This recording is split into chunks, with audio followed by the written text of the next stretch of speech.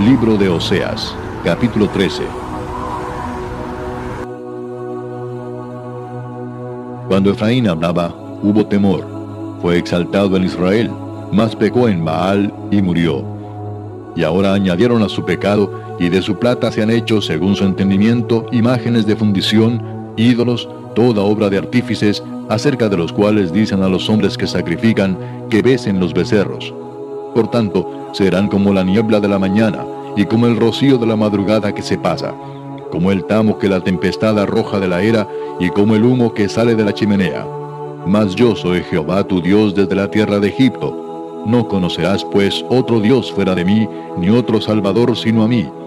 Yo te conocí en el desierto, en tierra seca. En sus pastos se saciaron y repletos se ensoberbeció su corazón.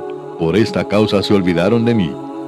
Por tanto, yo seré para ellos como león, como un leopardo en el camino los acecharé, como osa que ha perdido los hijos los encontraré y desgarraré las fibras de su corazón y allí los devoraré como león. Fiera del campo los despedazará. Te perdiste, oh Israel, mas en mí está tu ayuda.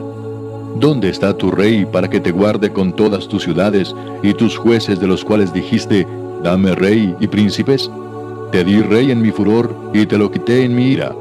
Atada está la maldad de Efraín, su pecado está guardado. Dolores de mujer que da a luz le vendrán. Es un hijo no sabio, porque ya hace tiempo que no debiera detenerse al punto mismo de nacer. De la mano del Seol los redimiré, los libraré de la muerte. Oh muerte, yo seré tu muerte, y seré tu destrucción, oh Seol. La compasión será escondida de mi vista.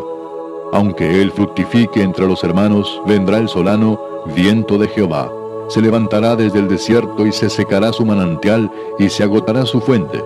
Él sacará el tesoro de todas sus preciosas alhajas. Samaria será asolada porque se rebeló contra su Dios.